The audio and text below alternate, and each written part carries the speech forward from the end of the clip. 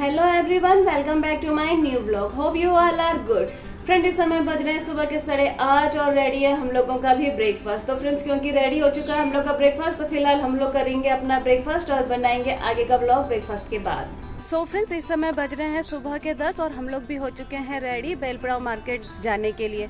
तो फ्रेंड्स, अभी हम लोग जा रहे हैं राशन लेने के लिए। तो देखते हैं आज राशन मिलता है या नहीं मिलता है, क्योंकि हमेशा हम लोग तीन चार बार जाते हैं, तब जा करके राशन मिलता है। तो अभी हम लोग क्योंकि जा ही रहे हैं बेलपड़ाव मार्केट तक तो बाकी काम भी करके ले करके आएँगे। बिकॉज़ मुझे लेना है कुछ कॉस्मेटिक आइटम्स वगैरह तो मैं वो भी ले करके आऊँगी जब जा ही रही हूँ। तो और उस दिन मुझे इतने सारे ब्रेसलेट्स वगैरह मिले थे स्टोर रूम से तो उनके लिए लेकर के आएँगे इलास्टिक वगैरह भी। जी वही तो कह रही हूँ मैं बादल तो लगे तो हैं पर धूप है खूब तेज। बहुत तेज़ की धूप हो रही है और इसी धूप में जाना पड़ रहा है। इस बार ड्यूटी लग गई। पिछले दो तीन महीने से मज़ा आ रहा था। कभी हेमा दीदी तो कभी जय हो जा रहा था जाने के लिए। तो फाइनली अभी मुझे जाना पड़ रहा है तो चलते हैं मार्केट तक सो फ्रेंड्स हम लोग भी पहुँच गए हैं राशन की दुकान की गली में। दिख तो रहे हैं लोग राशन की दुकान भी खुली है। चलते हैं और लगाते हैं अपना भी नंबर सो so फ्रेंड्स आज तो हम लोगों को एक बार में ही मिल गया राशन और ज़्यादा लास्ट से तब हाँ और वैसे भी महीने लास्ट में ही तो आते हैं हम लोग। तो कभी मिलता है कभी नहीं मिलता है बट आज मिल गया और ज़्यादा भीड़ भी नहीं थी। तो चलो एक ये तो अच्छा हुआ कि अब राशन के लिए दोबारा नहीं आना पड़ेगा किस्मत अच्छी रही बच गए और बाद। हाँ वरना फिर इतने तेज़ धूप में आना पड़ता।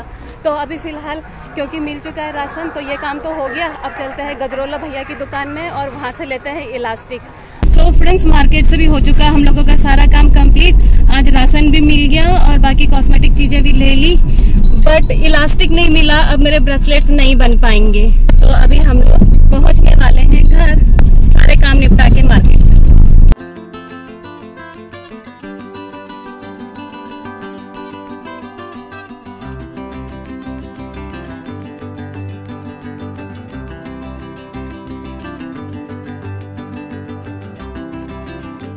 सो so फ्रेंड्स इस समय हम लोग भी पहुँच चुके हैं घर और इतनी तेज धूप हो रही है। तो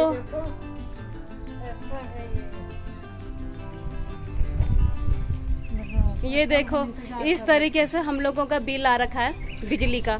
हम लोग घर पर नहीं थे तो फिर दरवाजे में इस तरीके से रखा हुआ है बिल।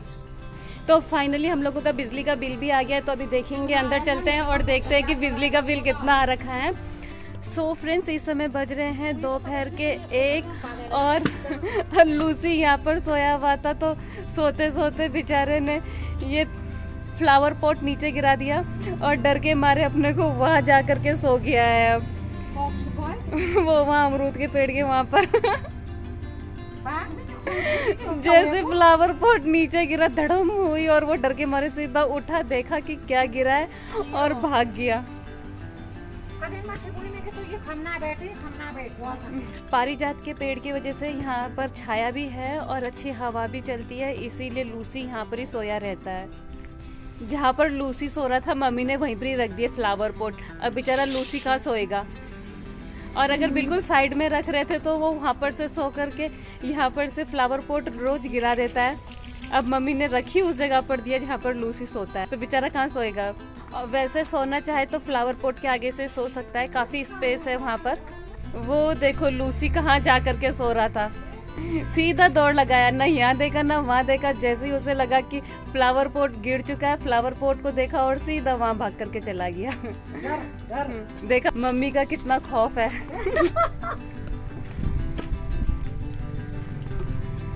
अब क्योंकि फ्लावर पॉट को यहाँ वहाँ कर दिया है तो अब उनमें पानी डालना भी ज़रूरी है।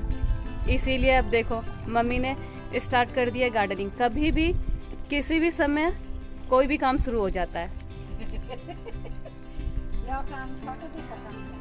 और अभी तक जो राशन की दुकान से चावल लेकर के आ रखे थे, उसको धूप में रख रहे थे और वो छोड़ करके सीधा यहाँ पर आ गए और वो वाला काम वैसे ही रह गया और यहाँ ये स्टार्ट हो गया अब। ये चारों फ्लावर पॉट जो इस साइड को थे, अब मम्मी ने बिल्कुल दीवार की साइड को ही कर दिया है और इनमें अभी डाल दिया है पानी। इतनी स्पेस है, वैसे बैठना चाहे तो बैठ ही जाएगा लूसी यहाँ पे।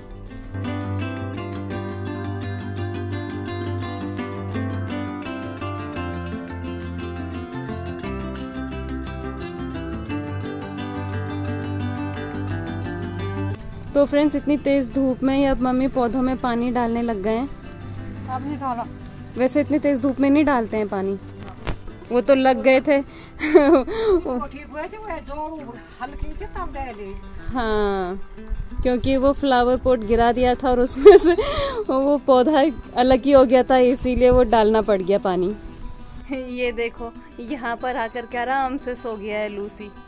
इसको लगता है पानी की प्यास लग रही है। इसने जिप बाहर निकाल रखी है। तो लूसी को भी दे देते हैं पीने के लिए पानी। और मम्मी ने यहाँ पर रख दिए चावल धूप में। सुबह हम लोग कंट्रोल की दुकान से लेकर के आ रखे हैं चावल। राशन में कि चावल ही तो मिलता है। और वो भी मम्मी ने आते ही धूप में रख दिया। ऐसे चावल मिलते हैं राशन के। सो so फ्रेंड्स और तो कुछ नहीं, बस ये सात किलो चावल ही मिलते हैं। और उसके लिए भी सात बार चक्कर काटने पड़ते हैं। वो तो लकीली कभी कभी एक ही बार में मिल जाता है, जैसे आज गए और भीड़ भी नहीं थी तो तुरंत हो गया। अदरवाइज़ तो इनके लिए भी इतना चक्कर काटना पड़ता है। तो अभी तो इनको धूप में रखा हुआ है। तो अच्छी खासी धूप है बाहर तो थोड़ा देर इनको धूप में ही रहने देते हैं।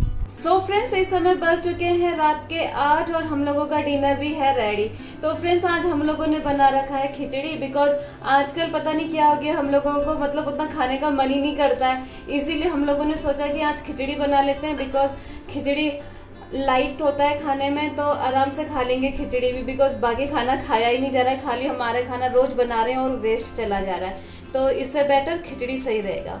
तो फ्रेंड्स अभी हम लोग कर लेते हैं अपना डिनर और सुबह से हम लोग बिजलू का इतना वेट कर रहे हैं, पता नहीं कहाँ है। बिजलू वैसे चोट वगैरह लग रखी थी, बिजलू को हाथ भी नहीं रख पा रहा था नीचे। और बताओ, सुबह तीन बजे का गया हुआ, अभी तक नहीं आ रखा है। तो देखते हैं कि कब तक आता है बिजलू और फ़िलहाल तो क्योंकि हम लोगों का खाना हो चुका है रेडी तो हम लोग कर लेते हैं अपना डिनर और करेंगे बिजलू का वेट तो फ्रेंड्स साथ ही साथ मैं भी करूँगी अपना आज का ब्लॉग यहीं पर क्लोज तो उम्मीद है आप लोगों को मेरे ब्लॉग्स एंड शॉर्ट्स पसंद आ रहे होंगे। तो आप लोगों से मेरी रिक्वेस्ट है कि मेरे ब्लॉग्स एंड शॉर्ट्स को लाइक कीजिए शेयर कीजिए कमेंट कीजिए और सब्सक्राइब कीजिए। फ्रेंड्स मेरे ब्लॉग्स रोज शाम को साढ़े सात पे आएँगे। तो कीप वॉचिंग मिलते हैं बहुत जल्द कल एक नए ब्लॉग के साथ। अब तक good night take care bye bye और मम्मी मच्छर मारने पर लगे। इस तरीके से मरेंगे ये ढीठ मच्छर। जो मच्छर मॉस्किटो कॉयल से नहीं मरते हैं ओडोमॉस से नहीं मरते हैं, वो इस तरीके से मरेंगे, बताओ।